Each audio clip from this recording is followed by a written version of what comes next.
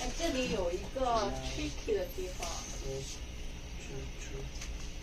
它可以放 company name，也可以用 company EIN，但是也可以给你个 optional 放 first name、last name 给我放。 This one is mandatory? I think so. I mean CC only two. Where is that? 那就是说 use company name。 I think we, I don't remember. I don't know.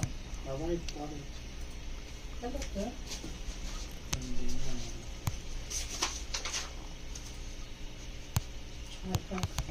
this is buy a fish. Only like a three dollar each.